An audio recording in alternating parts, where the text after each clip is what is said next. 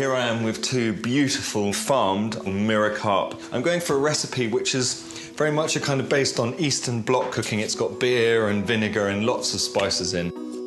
Start by scraping off the few mirror scales, and I've also removed the gills.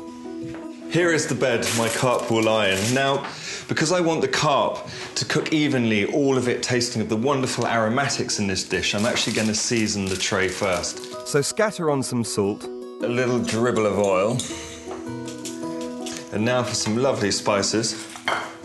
I've got a few cloves. Now, with the cloves, just pinch the heads a little bit to let them release their good stuff. So, two of those. Then, I've got some lovely allspice berries here. Then I've got some juniper berries here. Now, juniper's got a lot of oil in it. To get those wonderful sticky oils out, I like to just give them a little rubbing in the fingers. Whole peppercorns, so one of a few of those. Some bay leaves, and then some delicious thyme, and sprinkle it over. And some thinly sliced garlic. Now I've got half an onion here, which I want to slice nice and thinly. It needs to cook to soft in the time that it takes the carp to cook. You don't want lovely carp and then raw onions.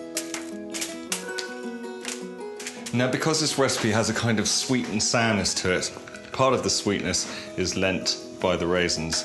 So, a good handful, fat raisins, a little bit of unsmoked paprika, thinly sliced orange,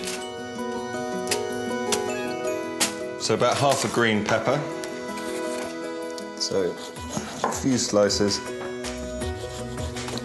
lemon.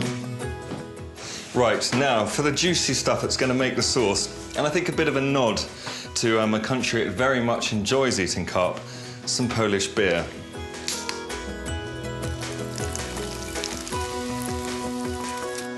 A squeeze of orange juice. And finally, a good splash of red wine vinegar. Now I lay my beautifully fresh carp end to end, and then I repeat the bottom layer that I have under the fish on top of them now before I seal it up. Give the carp a final dusting of paprika.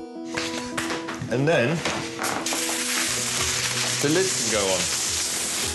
Making sure you leave enough space around the fish for the steam to cook them.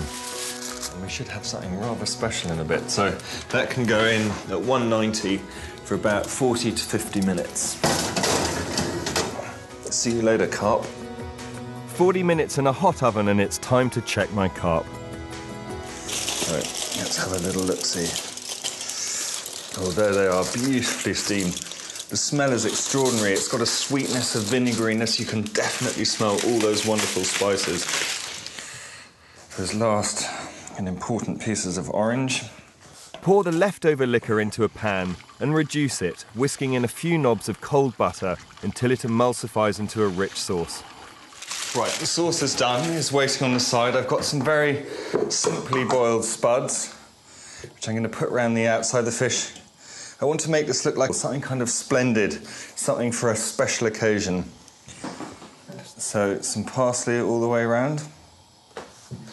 And Lastly, I have this wonderful sweet and sour sauce, thickened and luxuriated with butter. You can taste the sweetness, there's a wonderful vinegariness to it, there's the faint bitterness of the fruit rind. So there we have a kind of Russian-ish, Eastern blocky carp dish with boiled potatoes and parsley.